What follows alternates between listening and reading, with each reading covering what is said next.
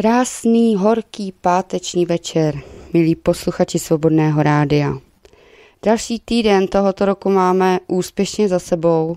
Teď si asi spousta z vás řeklo, no to nevím, zdali jestli úspěšně, ale ano, naši milí posluchači. My všichni jsme úspěšně ustáli další týden života ve světě, který začíná být pro mnoho lidí krutý a někdy až tak těžký, že jsou pod jeho tíží dohnání do situace životního nebytí. A to mi připomíná, že si musíme připomenout, že nás minulý týden tragicky opustil ve věku 76 let Karel Hřmánek. Český herec, který zanechal ve světě filmu neodmyslitelnou stopu. Herec obrátil zbraň proti sobě na střelnici v Ivanech v sobotu v dopoledních hodinách.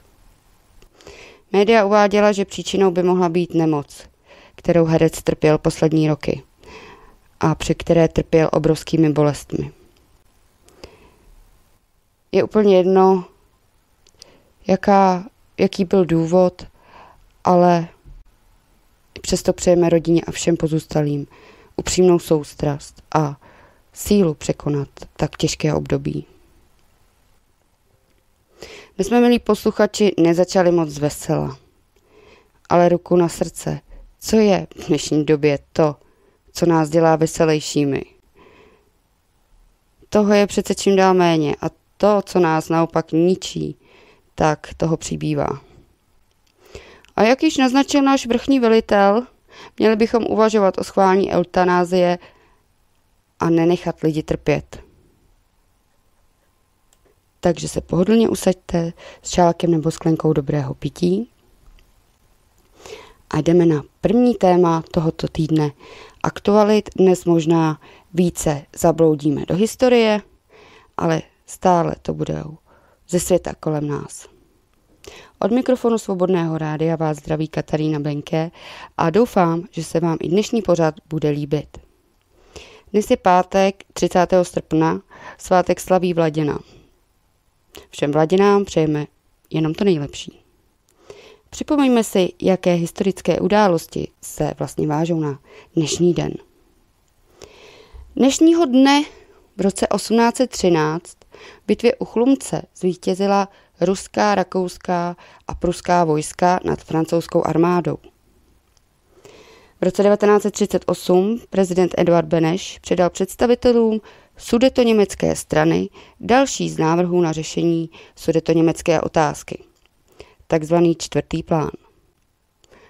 V roce 1940 v časopise Mladý hlasatel začal vycházet román Záhada hlavolamu. V roce 1918 ruská revolucionářka Fanny Kaplanová spáchala neúspěšný atentát na Vladimíra Ilínče Lenina.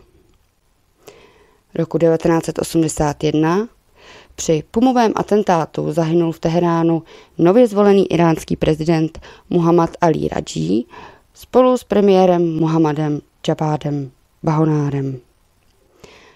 A v roce 1995 Severoatlantická aliance zahájila leteckou operaci Rozhodná síla proti vojskům republiky Srbské Bosně a Hercegovině.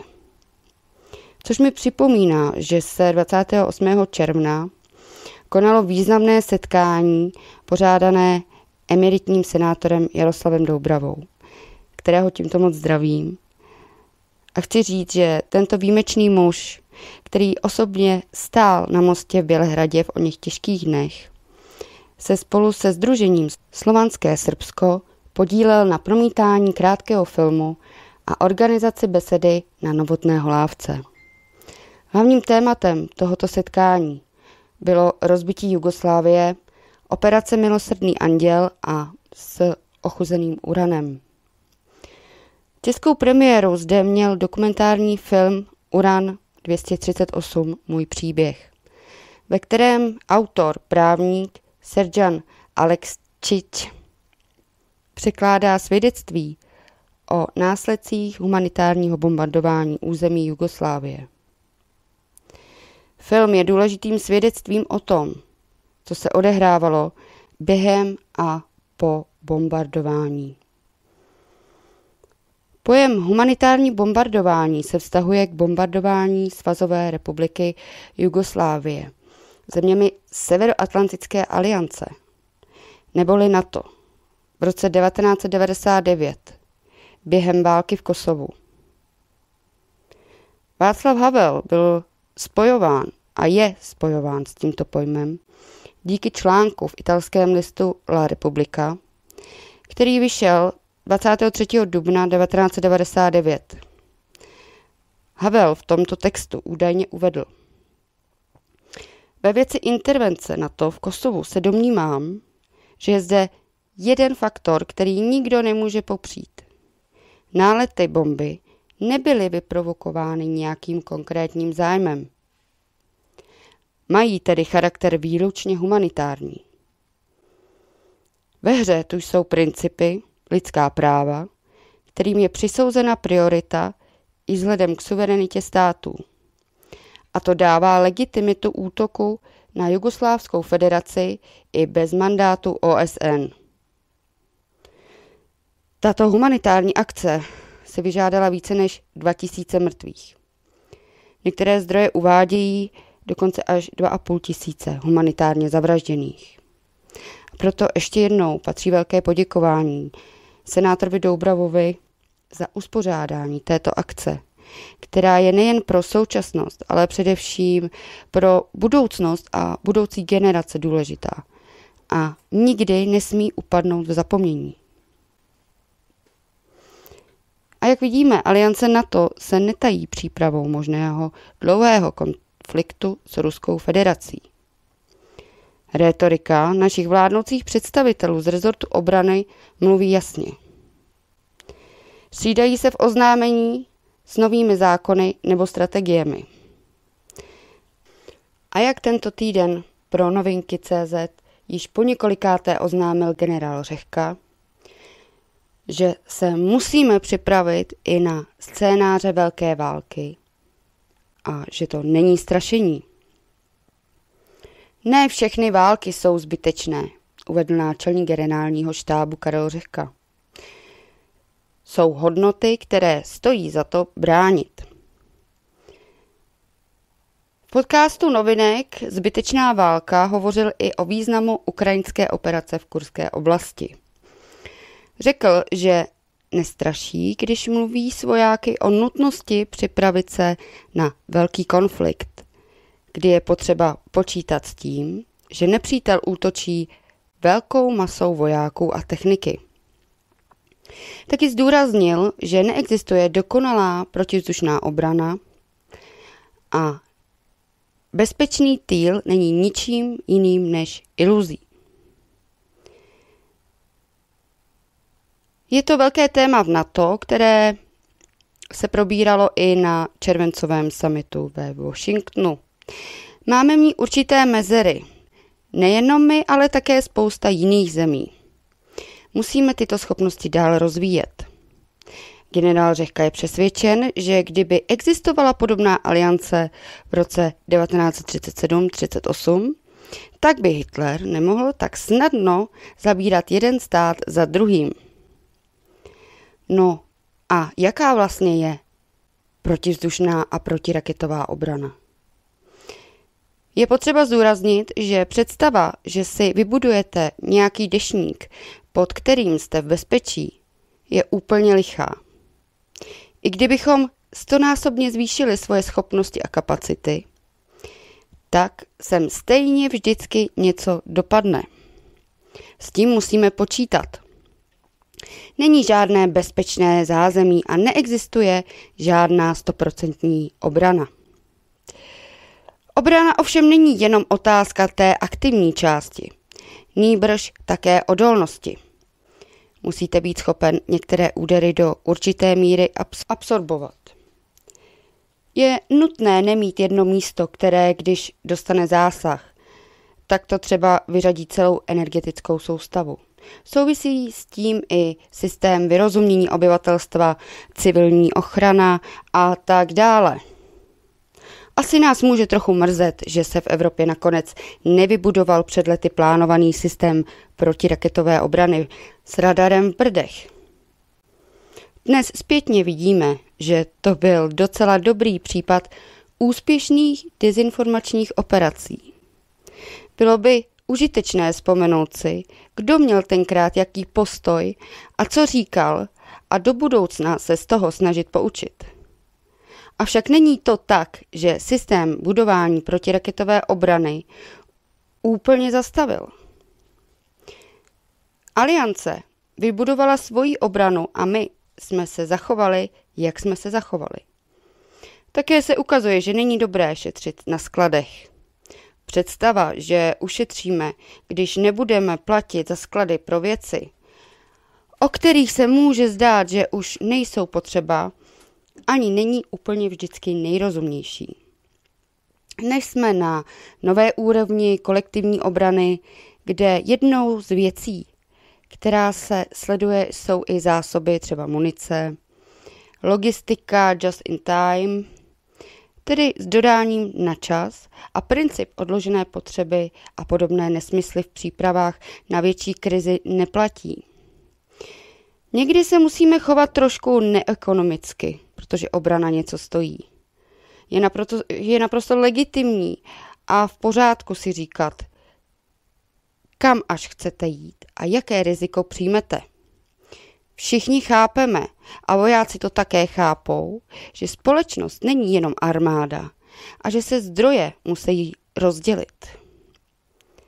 Ale je potřeba rizika přijímat vědomně.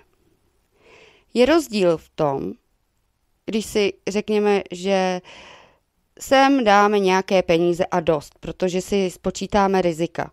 Upozorníme na ně a vědomně je přijmeme. To je v pořádku. Říká se tomu řízení rizik. Byl bych ale rád, kdyby lidé, kteří rizika přijímají, a to včetně politických lídrů, se pod tato rizika jasně podepisovali. Když řeknou, že do něčeho nebudeme investovat, aby také sdělili, že vědí o riziku a riziko přijímají. Ne, že to budou přenášet na někoho jiného, nebo se budou snažit riziko zamlčet a tvářit se, že neexistuje. Odhodlání a vůle bránit si svobodu nejsou omezené. Buď je máte, nebo je nemáte, dodává generál Karel Řehka. Rusové ukazují, že stále platí převaha počtu, ať už zbraní, byť kolikrát zastaralých, nebo lidí, byť mnohdy špatně vycvičených. Jak se bránit tomuto způsobu vedení války, který se na konci studené války považoval za přetržitý? V médiích kolovala některá moje vyjádření častokrát vytržená z kontextu, nebo je vykřikovali někteří politici s tím, že straším válkou. Ale to, co jsem říkal na velitelském schromáždění vojáků, že se musíme připravovat na konflikt vysoké intenzity a velkého rozsahu s technologicky vyspělým protivníkem, který má jaderné zbraně, to není strašení válkou. Vojákům jsem říkal, jaké máme zadání v novém obrané strategii, kterou schvaluje naše vláda. Je v ní scénář velké války, na kterou jsme se podle zadání z doby před pár lety měli připravovat, protože tady platil princip odložené potřeby a takový konflikt se považoval za nepravděpodobný a nepředvídatelný. Dnes je taková situace, že se musíme připravit i na scénář velké války mezi velkými státními aktéry, jako jsou Rusko a Ukrajina.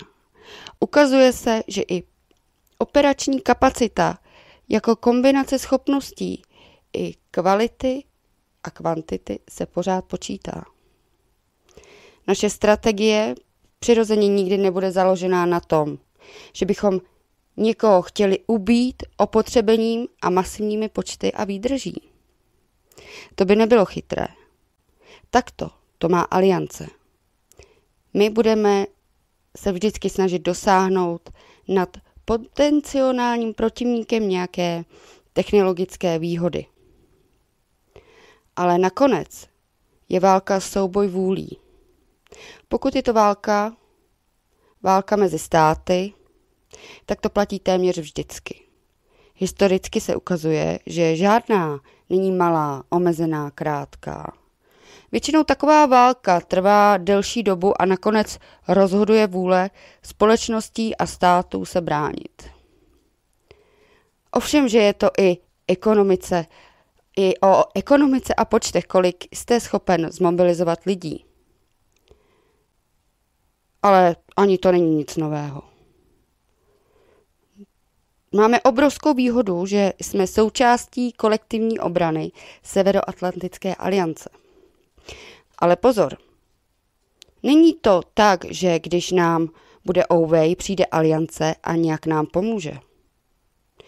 My jsme ta aliance a jako její součást máme nesrovnatelné výhody, na které bychom sami nikdy nedosáhli. Ale pořád máme úkol se bránit, dodává generál Řehka.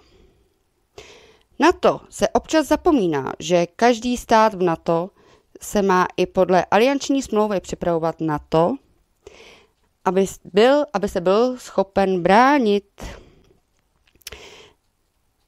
Význam aliance je vidět, když se podíváme do historie. Kdyby existovala podobná aliance v roce 37 nebo 1938, tak by Hitler nemohl tak snadno zabírat jeden stát za druhým. Za to, že žijeme tak dlouho ve světě, kde je mír, vděčíme tomu, že NATO je historicky nejúspěšnější aliance. A letos oslavila 75 let existence.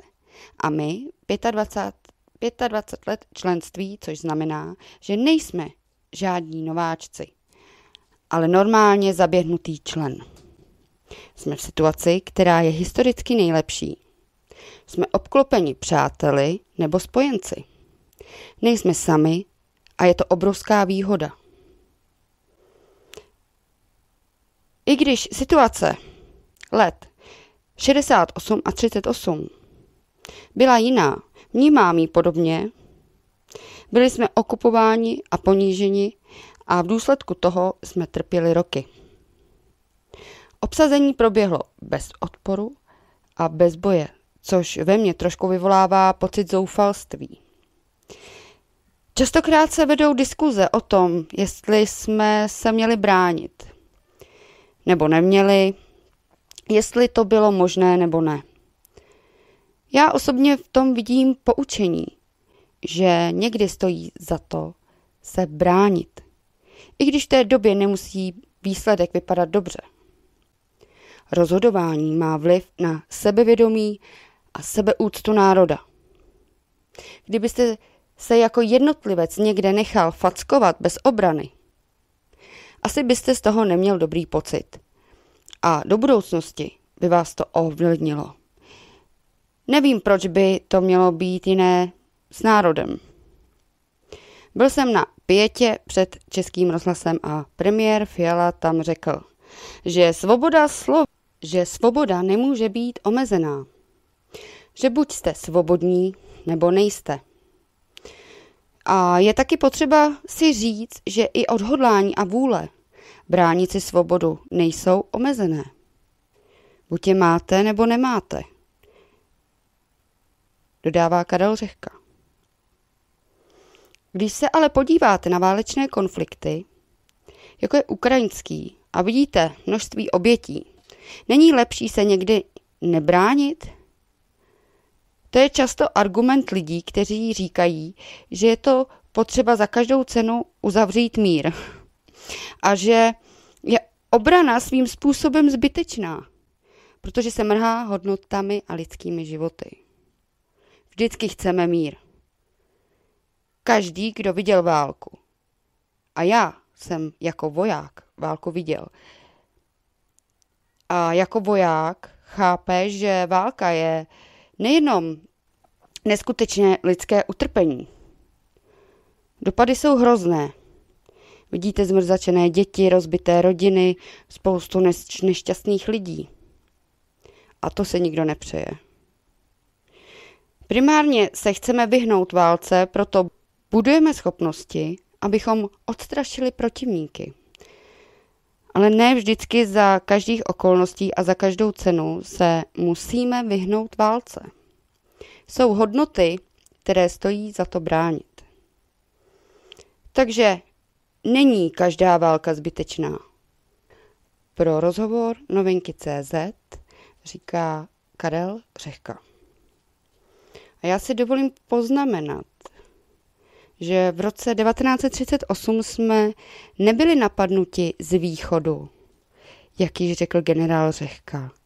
Byli jsme napadeni a okupováni nacistickým Německem pod velením Adolfa Hitlera. Československo se v roce 1938 ocitlo ve velmi obtížné a napjaté situaci, kdy čelilo hrozbě ze strany nacistického Německa. Adolf Hitler usiloval o připojení Sudet k říši. A v rámci takzvané mnichovské krize se československá vláda musela rozhodnout, jakým způsobem na tuto hrozbu zareagovat. Prezident Československa Edvard Beneš stál před velmi těžkým rozhodnutím. Na jedné straně chtěla velká část československé veřejnosti bojovat a bránit se agresi. A na druhé straně byla situace politicky velmi komplikovaná. Pokud by se Československo rozhodlo bránit, Beneš by byl označen za agresora a vyníka války. V září 1938 se v Mnichově konala konference o nás bez nás mezi Německem, Francií, Velkou Británií a Itálií, na které Československo nebylo přizváno a došlo k rozhodnutí z podstoupení sudet Německu, což vstoupilo do dějin jako Mnichovská dohoda. Josef Stalin projevil zájem o pomoc Československu v případě konfliktu. Avšak za podmínky, že se k obraně připojí i západní mocnosti, zejména Francie, která byla spojencem Československa na základě smlouvy. Avšak západní mocnosti, zejména Francie a Velká Británie, nebyly ochotni vstoupit do války proti Hitlerovi kvůli Československu. Stalinova nabídka pomoci se tak stala neúčinnou, protože západní sousedé jasně dali najevo, že pokud by sovětská vojska překročila hranice, považovalo by to za akt agrese a okupace. Pod tímto obrovským tlakem a bez skutečné podpory ze strany svých spojenců se Edward Beneš rozhodl kapitulovat a přijmout podmínky Mnichovské dohody. Tento krok vedl k odstoupení Sudet a následně německé okupaci zbytku Československa v březnu 1939. Vzpomeňme si, že Československo bylo západními partnery předhozeno nacistickému Německu, což později zvýšilo nedůvěru vůči těmto zemím, který se následně pak stali zakládajícími členy aliance NATO. Benešovo rozhodnutí bylo velmi těžké a dodnes je předmětem velkých diskuzí. Někteří ho vnímají jako nutné zlo, které alespoň na čas oddálilo válku. Jiní jako akt zrady a podvolení se nacistickému diktátu. Tudíž bych chtěla říct, že nebyli jsme ohroženi východní mocností. Stejně tak jako nezaznamenáváme ani náznak východní rétoriky naproti západní, že by snad usilovala o porážce a zničení a použití jaderných zbraní vůči západu. Nedávný dekret ruského prezidenta Vladimíra Putina, který od 1. září 2024 uděluje politický a humanitární azyl občanům ze zemí západu, a to bez obvyklých podmínek, jako je znalost ruštiny nebo historie. Tento krok je reakcí na eskalaci konfliktu mezi Ruskem a NATO. A to zejména po útoku na Kurskou oblast. Dekret umožňuje relokaci a emigraci celých rodin z humanitárních důvodů a nemá stanovené žádné migrační kvóty. Ruská vláda spolu s ministerstvem zahraničí připravuje seznam zemí, jejichž občané budou mít možnost požádat o relokaci. Tento dekret připomíná evakuační program, který byl implementován v letech 1938 a 39, kdy Josef Stalin evakuoval sympatizanty SSSR a před vypuknutím druhé světové války se jim snažil pomoct. Souvislost mezi tímto dekretem a rostoucí cenzurou a napětím v Evropě, včetně výroků českých politiků, je velká. Dekret je prezentován jako Noémova archa pro západní sympatizanty Ruska, což naznačuje přípravu na potenciální vypuknutí třetí světové války. Podle článku pana VK se v Rusku připravují exilové vlády a elitní kádry pro pováleční reset v Evropě. Stejně jako tomu bylo po druhé světové válce. Dekret je tak vnímán jako varování, že Rusko očekává pokračování konfliktu s NATO a možná i eskalaci do globálního konfliktu. Je však na každém z nás posoudit, zdali by to tak mohlo být. A mohlo se to stát. Včera jsme si připomněli 80-leté výročí slovenského národního povstání. Jedné z nejvýznamnějších kapitol československých dějin. Tento hrdinský čin z konce let 1944 zůstává symbolem. Symbolem odporu proti fašismu a boje za svobodu. Povstání nebylo jen vojenským konfliktem, ale také aktem morálního odhodlání a touhy po spravedlnosti. Při této příležitosti bychom si měli připomenout příběhy některých lidí, kteří stáli v čele tohoto odboje a jejíž jména se stala nesmrtelným. Gustav Husák byl muž, jehož jméno je spojováno, spojováno jak se slovenským národním povstáním, tak i s pozdějšími dějinami Československa. Gustav Husák tehdy byl mladý právník a člen komunistické strany. Aktivně se připojil, zapojil do povstání jako člen Slovenské národní rady kde pomáhal koordinovat politickou a civilní část odboje. Byl to muž, který věřil v nutnost boje proti nacismu a stal se jedním z klíčových organizátorů povstání na politické úrovni. Generál Ján Golian byl jedním z hlavních vojenských vůdců povstání. Už od začátku věděl, že šance na úspěch jsou malé. Přesto však neustoupil. Golian převzal velení nad povstaleckou armádou a spolu s dalšími důstojníky se snažil čelit německým jednotkám, které se pokoušely povstání potlačit. Po pádu Bánské Bystrice byl Golian zajat a později popraven. Jeho odvaha a odhodlání zůstávají symbolem boje za svobodu. Generál Rudolf Wiest se do postání zapojil po příchodu ze zahraničí a stal se jedním z vrchních velitelů. Po Golianově zajetí převzal velení nad posteleckými jednotkami, i když věděl, že situace je téměř beznadějná. Stejně jako Golian byl zajat a popraven nacisty. Místovo jméno zůstává spojené s hrdictvím a obětavostí.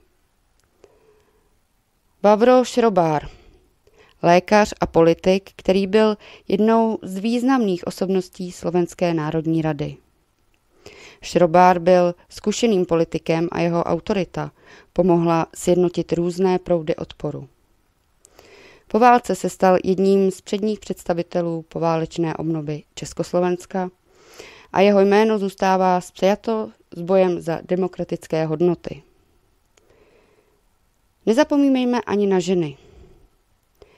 Alžbětu Gelnerovou, Gverkovou, učitelku a autorku, která se stala symbolem ženského odboje. Aktivně se zapojila do povstání, pomáhala povstalcům a šířila myšlenky odporu. Byla zatčena a popravena gestapem, ale její odvaha a odhodlání inspirovaly mnohé. Mnoho českých vojáků, civilistů a partizánů se rozhodlo přijít na pomoc svým bratrům, ačkoliv byli daleko od svých domovů. Jejich odvaha a odhodlání přispěly k bojům na mnoha frontách. Jedním z významných Čechů, který se aktivně zapojil do povstání, byl podplukovník František Feitl. Válečný letec, který bojoval proti nacistům na západní frontě a následně se zapojil do bojů na slovenském území. Feitl velil letecké skupině, která podporovala povstalce z nebe a pomáhala zpomalovat německý postup. Další významnou osobností byl podplukovník Josef Balabán, jeden ze tří legendárních členů odbojové skupiny Tří králů. I když Balabán nepřežil válečné roky, jeho odkaz a odvaha inspirovali české i slovenské odbojáře. Slovenské národní povstání bylo nejen bojem za osvobození od nacistické nadvlády, ale také bojem za spravedlnost, lidskost a budoucnost. Tisíce mužů a žen riskovali a často i položili své životy za hodnoty, které dnes možná považujeme za samozřejmé. 80 let po vypuknutí povstání je důležité si připomínat nejen vojenské události, ale také lidské příběhy, které za nimi stály. Jsou to příběhy odvahy, obětí a naděje, že lepší svět je možný. Proto děkujeme všem hrdinům slovenského národního povstání, ať už to byli Slováci, Češi nebo příslušníci jiných národností. Vaše odvaha a odhodlání zůstávají inspirací pro nás všechny. Nikdy nezapomeneme. Proto vyvstává otázka, je odboj jako poslední možnost, když demokracie selhává a svobody mizí? Když víme, že žijeme v době, kdy se mnoho z nás ptá, zda stále žijeme v demokratickém státě, nebo zda už jsme v té totalitě. Zatýkání aktivistů, jasné politické kauzy, cenzura, cenzura na sociálních sítích, zákony posilujících pravomoci ozbrojených složek a hrozba povolání do vojenské služby v cizím zájmu. To vše vyvolává v lidech pocit bezmoci a ztráty kontroly nad vlastním osudem. Naše práva a svobody, které by měly být základem každé demokracie, jsou dnes ohroženy. Lidé, kteří se odváží vyjádřit odlišný názor nebo bojovat za své hodnoty, tak ti jsou umlčováni.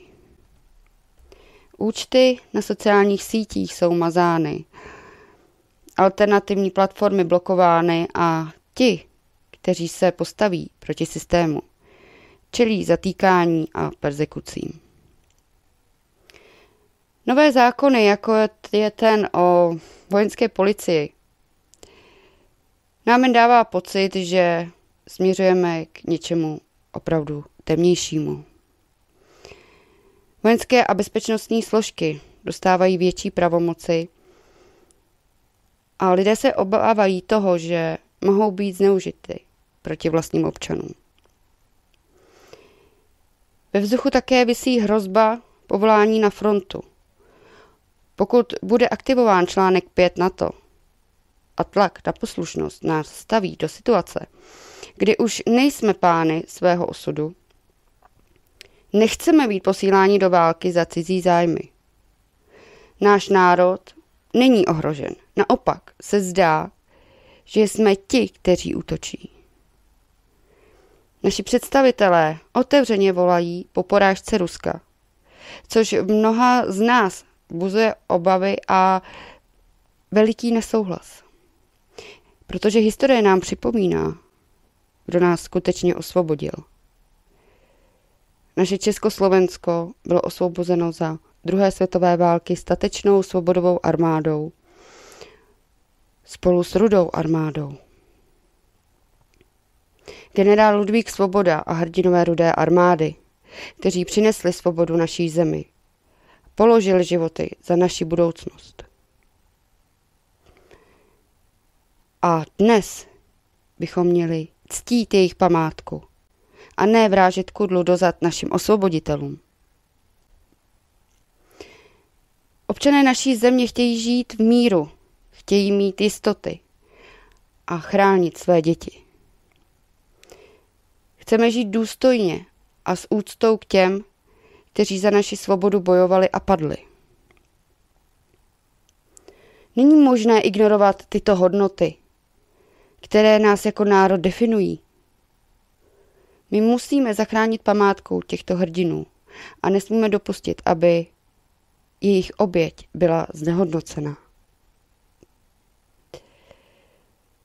V takových chvílích se mě mnozí ptají, jaká je vůbec naše možnost obrany. Když vlastně všechny legální cesty selhaly, když nejsou slyšet naše hlasy, zbývá tedy jeden odboj? Odboj v historii vždy znamenal risk, ale také naději. Byl to akt odporu proti útlaku, proti nespravedlnosti, proti systému, který porušoval základní lidská práva. Dnes jsme opět v situaci, kdy musíme zvažovat, jakou cestou se vydáme. Odboj však nemusí znamenat násilí. Může mít různé podoby.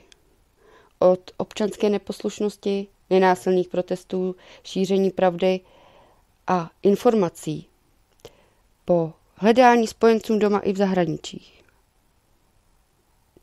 Může to být i volání po návratu, volání po návratu k právnímu státu, po obnově základních svobod, které nám byly vzaty. Odboj je vlastně výzva k tomu, abychom se nesmířili s útlakem. Je to výzva k tomu, abychom se postavili za sebe, za své děti, za naši budoucnost. Abychom znovu získali kontrolu nad svými životy a nad svým státem. Každý z nás musí rozhodnout, jakým způsobem se bude bránit. Ale jedno jisté. Pokud se vzdáme, pokud přijmeme útlak jako nový normál, ztratíme vše. Ztratíme vše, na čem nám záleží. Proto je důležité jednat a hledat cesty a nebát se. Stát se za tím, co je správné. Odboj přece není jen akt vzdoru. Je to obrana, je to, je to akt naděje. Naděje, že jednou opět budeme žít ve světě, kde naše práva a svobody budou skutečně chráněny. S tím souvisí i naše další téma, článek, který jsem objevila před pár dny, a to, že maskáče, pokud budete nosit maskáče, tak vám bude hrozit pokuta až do výše desítek tisíc korun. Novela zákona bude součástí, nebo by měla být součástí novely o vojenské policii a je zaměřená především na domobranecké spolky, které se snaží vermomocí stát zakázat. Tedy, jak jsem řekla, v poslední době, poslední týden se objevily návrhy na zpřísnění regulací nošení vojenských stejnokrojů a zákaz domobraneckých spolků, které jsou označovány za extremistické. Některé spolky již zakázány byly a jejich představitelé jsou persekováni. Zatímco některé části veřejnosti mohou vítat snahu o zvýšení bezpečnosti a kontrolu extremistických hrozeb, je důležité si položit pár otázek. Proč stát chce zakázat domobranecké spolky, když by naopak měl být vděčný těmto lidem, kteří se snaží přispět k obraně a bezpečnosti naší země? Absence aktivních záloh civilní obrany je obrovská. V České republice neexistují aktivní zálohy civilní obrany, které by mohly v případě krizové situace poskytnout rychlou a koordinovanou pomoc. Této situaci jsou domobranecké spolky, které se zaměřují na školení a přípravu civilistů na takové krizové situace, důležitý prvek a jsou nedílnou součástí bezpečnosti a připravenosti. V současné době se veřejně diskutuje o přípravách na možný vojenský konflikt. V tomto kontextu je důležité mít připravené a koordinované mechanismy pro ochranu obyvatelstva a pro udržení veřejného pořádku. Domobranecké spolky, které školí jednotlivce na krizové scénáře, mohou hrát zásadní roli v zajištění místní bezpečnosti a přípravy na možné krizové situace. Jak nám historie ukazuje, že zakazování domobraneckých a paramilitárních organizací může mít hluboké kořeny. Během období protektorátu Čechy a Morava v roce 1939 až 1945 protektorátní režim pod nacistickou okupací se obával jakéhokoliv projevu českého odporu a snažil se eliminovat všechny formy domácí obrany, včetně domobraneckých hnutí. Tato opatření byla součástí širší snahy o totální kontrolu a potlačení jakéhokoliv formy odporu. Proto je docela důležité zvážit, zda by stát skutečně neměl ocenit úsilí domobraneckých skupin, které se mohou podílet na ochraně místních komunit, nebo se snad obává, že by tyto skupiny mohly představovat hrozbu pro státní autoritu a veřejný pořádek? Zatímco stát může mít legitimní obavy ohledně zneužívání vojenských stejnokrojů a aktivit extremistickými skupinami. Je důležité najít rovnováhu mezi bezpečnostním opatřením a ochranou základních práv a svobod. Já sama mám doma taky několik kusů maskáčů, dokonce i vzor 60. A nevím, v čem jiném bych měla chodit do lesa, než v maskáčích a kanadách. Ale jak vidíme, začíná to být footballten a mně to přijde jako zasahování do mých práv.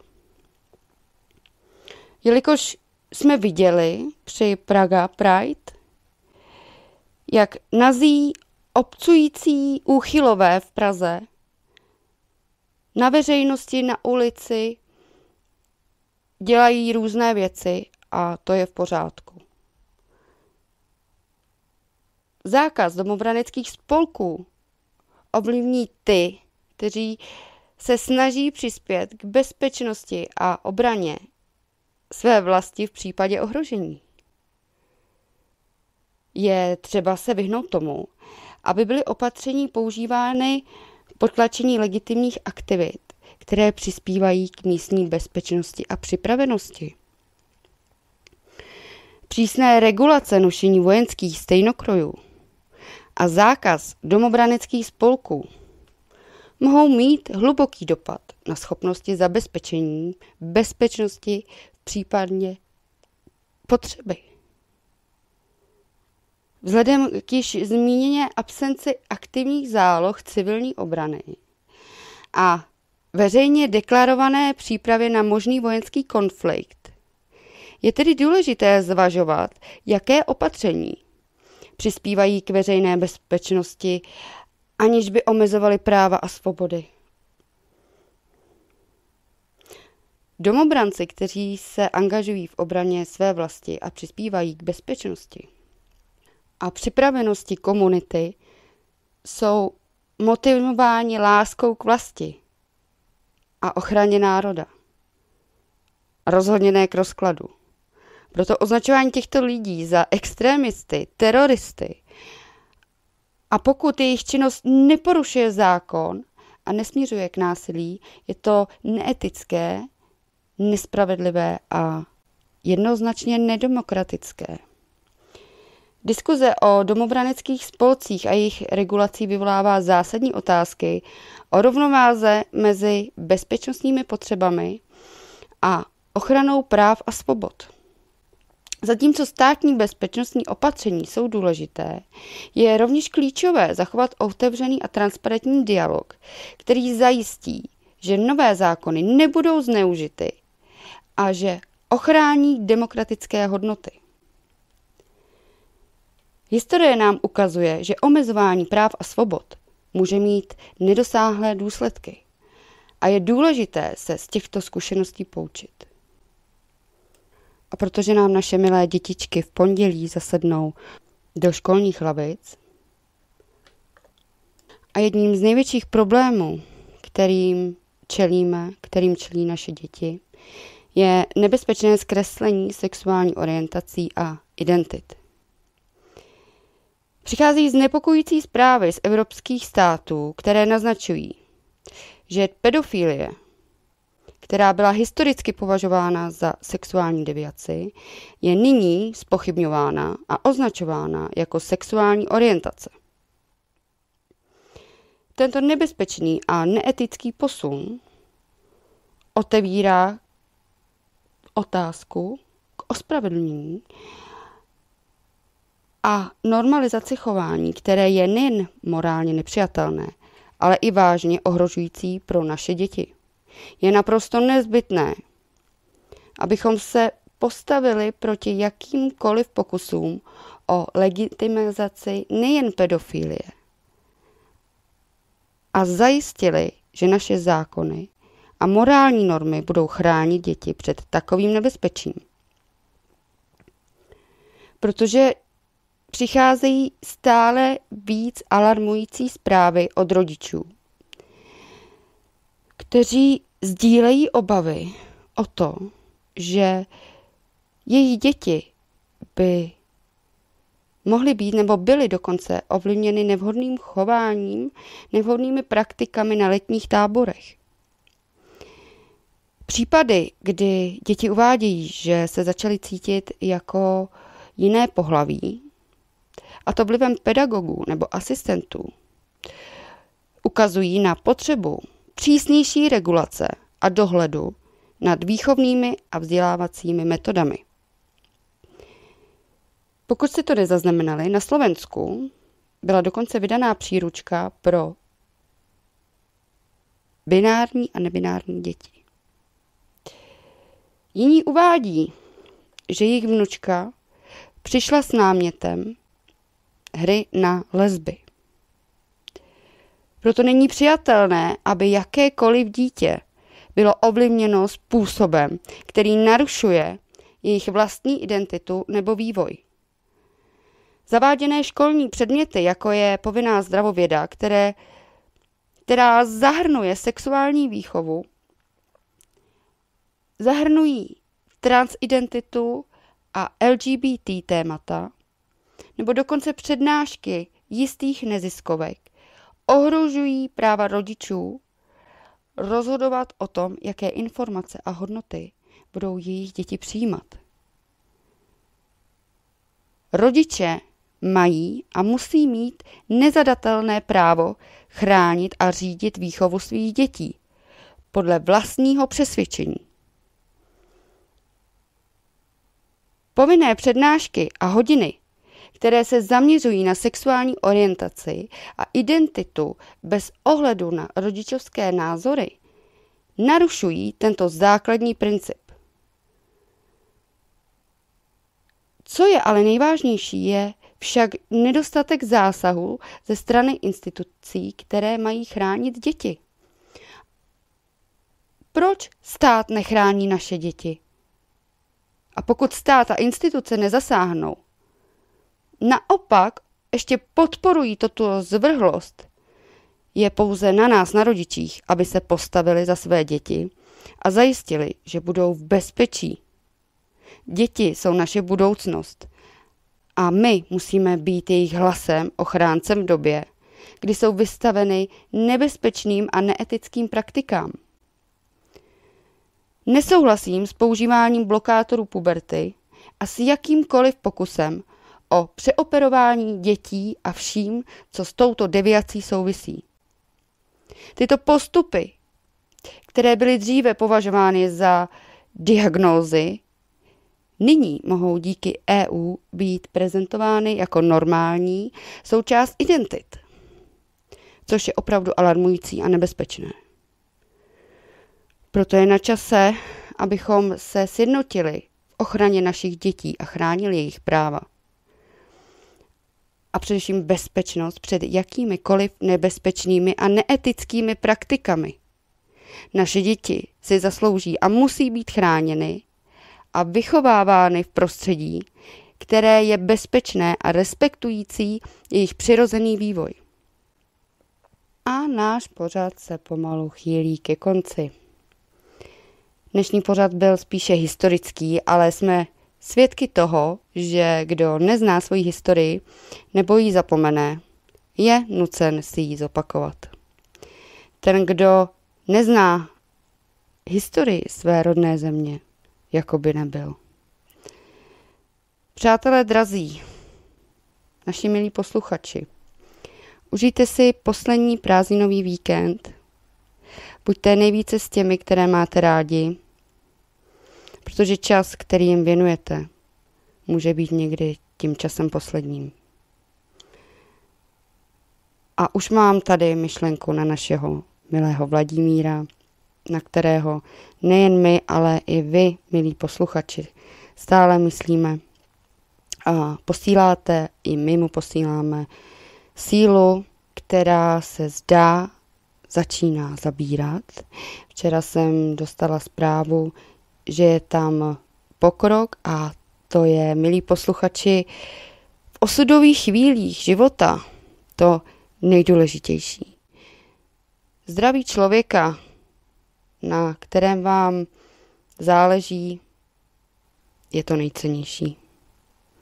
Proto děkujeme nejen za svobodné rádio, ale i za svoji osobu děkuji všem za vaši podporu.